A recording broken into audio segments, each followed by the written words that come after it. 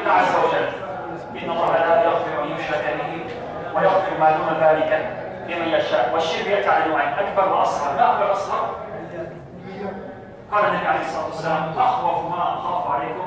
الشرك الأصغر فسئل عنه فقال الرياء مثال من يعطينا مثال مثلا اليوم أنا صايم.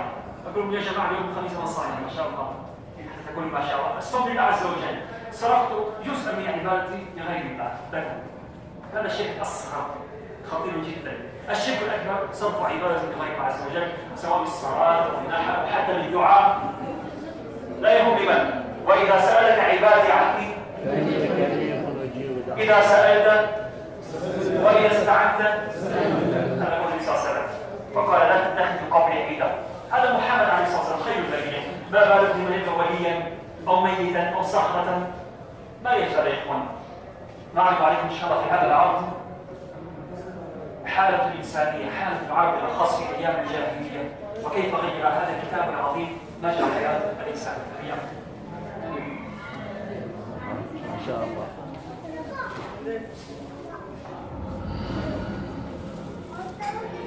حول بيت عتيق نصب الشرك أصناما يتعبد إليها من دون الله. خرج الكفر أسوأ ما في النفس البشرية وأقبحها فكانت جاهلية استدعت النفس والعدل والمال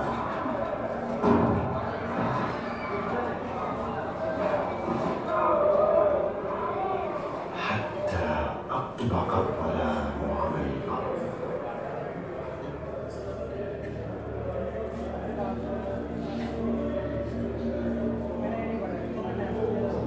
في أحضان الجبل أنزل.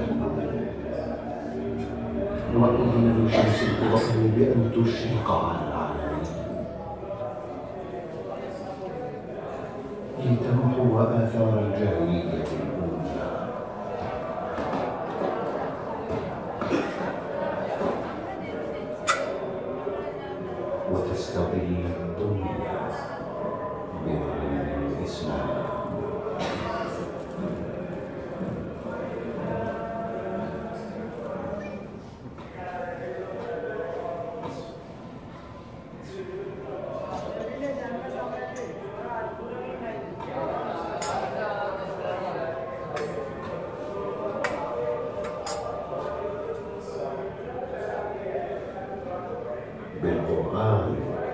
ارتفع بنيان الحضارة وبه هديت وبه هدي الناس إلى الصراط.